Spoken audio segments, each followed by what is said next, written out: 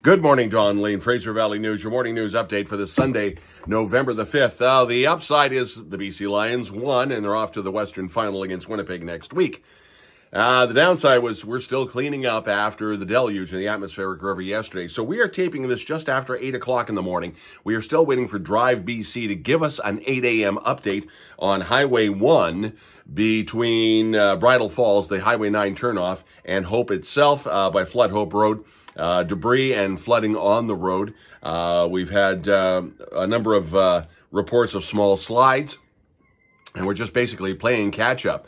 Uh, a lot of local flooding has started to subside. Uh, but we still have some pools. If there's any situations, let us know, FVN at shaw.ca. Now, it's supposed to be a fairly pleasant day, and uh, we were not expecting showers until just after supper time tonight. And if you had forgot, yes, we're now on Pacific Standard Time, so sunset is around 440 this afternoon. By the way, we go back to daylight saving time in March.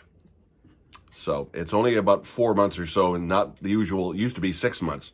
So we, we get your break there. Again, FVN at shaw.ca or any of our social media outlets, either through the website, Facebook, X, Twitter, if you will, uh, TikTok, or Instagram. Let us know what's happening out there.